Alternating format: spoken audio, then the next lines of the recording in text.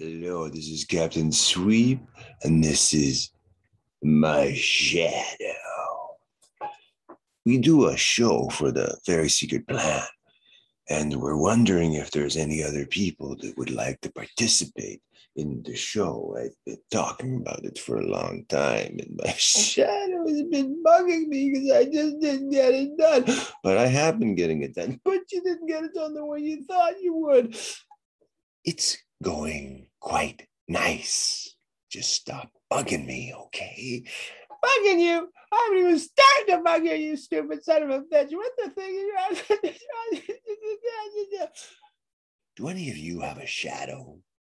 Do any of you have a part of yourself that just seems to come into your mind and take over and do things that you just can't believe that should be or could be done? Anybody?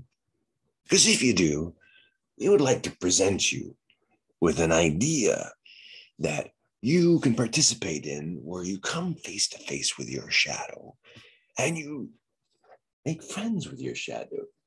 Make friends? Yeah. Have them on your side.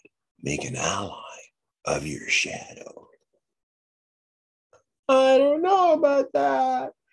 I don't know. I don't trust you at all. I don't trust anybody. Nobody. Well, sometimes I might trust you, but only sometimes. This could be a big problem. So if you have a desire to deal with your shadow in a unique way, in a in a very secret plan to change the world's economic system from one of fear to one of love.